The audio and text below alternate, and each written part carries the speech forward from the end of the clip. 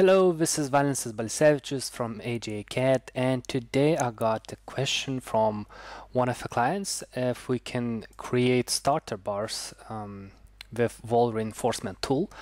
So I already created one configuration uh, for reinforcement for this type of wall. So I create here some rebars, I have U bars, uh, additional bars at the top and then um, other reinforcement of different diameters and, and positions but what I want to do now is that I want to have starter bar, bar bended like this into this piece of concrete. So uh, what I will do I'll go to rebar configurations of wall reinforcement tool and then I will go to additional reinforcement tab. And here you see I can add any of these shapes of rebars. So that's what I will do. I will add new item. I want to place it at the bottom of the wall and then I need to pick the shape of it. So it's going to be like so. And then I need to change these parameters, right? So I already calculated what I need. So I need some anchorage distance, right? Uh, I also need some um, in, into the foundation and then this one is will go into the wall and then I need to make some settings to offset it from the bottom of the wall.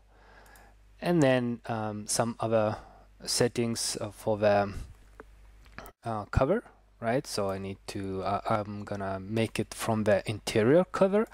Uh, so it depends where do I add this value so it will be bent to one direction or other direction. In this case it's um, I will use this option and then uh, what else?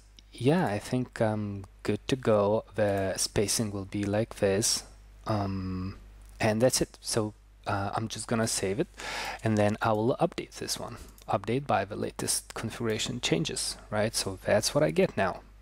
So this bar is actually 10 millimeter, but um, of course it depends on your settings. So I can pick uh, different type of rebar if I want, right? If I want to use this one, I can save and close and then run the update again of this one. And I have another bar over here. And if I'll take a look to this section, right? So I have these, uh, of course, perimeter bars and so on, but um, yeah, like these, and, and then this, these horizontal bars, and then I have these starter bars created over here. So if you like it, you can see other videos or webinar records and share it with your colleagues, and um, you can get two weeks trial of any of our tools, so this one as well. Okay, I hope you like it and stay tuned. Bye. AGA CAD, building BIM together.